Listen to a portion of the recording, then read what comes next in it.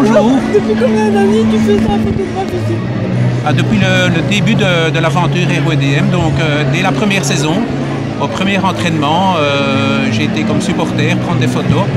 Et Thierry Dailly m'a demandé euh, si je voulais devenir le, le, photographe. En fait, ça s'est fait en 30 secondes. Si je pouvais venir le lendemain. Et puis, euh, il m'a demandé si je pouvais venir les autres fois aussi. Et euh, il m'a tapé dans la main. Il a dit voilà, tu, tu nous accompagnes maintenant partout. Et donc, euh, j'accompagne le club à, à, tous les matchs.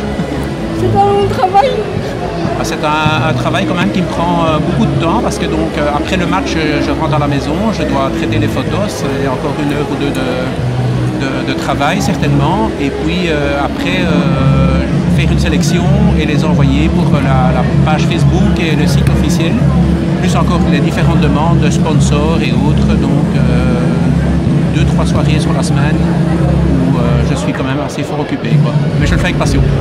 As-tu déjà fait beaucoup d'autres clubs avant l'Olympique Non, en fait, je faisais des, des, des, des photos, c'était plus par, euh, par passion. Donc, euh, oui, j'étais un petit peu à l'Union, euh, faire 4-5 matchs. Et alors, j'ai fait aussi l'aventure FC Blé Molenbeek et un petit peu le BX. Mais voilà, c'était vraiment occasionnel.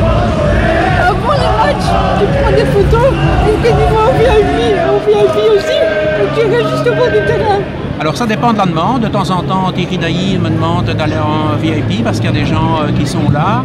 Euh, où je vais moi-même en VIP et si je vois qu'il y a euh, donc euh, des photos intéressantes à prendre, je les prends aujourd'hui par exemple. Il y a tous les anciens champions de 74-75. J'ai vu Maurice Martin, Jacques De Gels, Eddie Koons qui sont présents. Donc voilà, j'ai pris des photos en VIP, mais on va prendre des photos sur le terrain aussi.